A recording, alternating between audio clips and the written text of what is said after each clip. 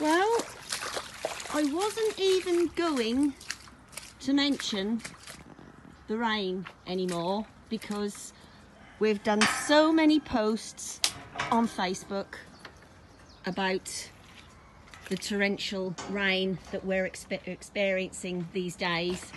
Here at Easy Horse Care Costa Blanca that it's become becoming more and more of a regular occurrence. Um, I'm struggling a bit to walk actually while I'm making this video.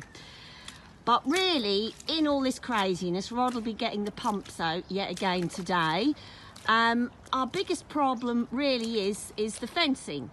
Uh, we keep the horses where they need to be with miles and miles of electric fencing and plastic posts, which in theory is absolutely fine.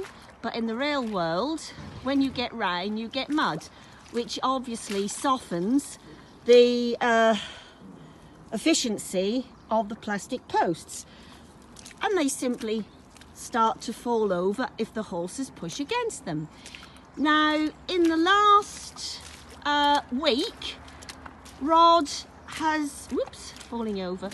Rod, how many boxes of posts have you got through in the last two weeks? 60 posts. Right, Rod has got through 60 posts in the last two weeks. Yeah. Two weeks to keep repairing our fencing. Um, obviously, it costs a lot of money also to do this. So how much would that have cost, Rod? Uh, about three euros each post. Yep. So that's 60 times three euros and that's just in two weeks. This is obviously without all the electric tape that also gets damaged.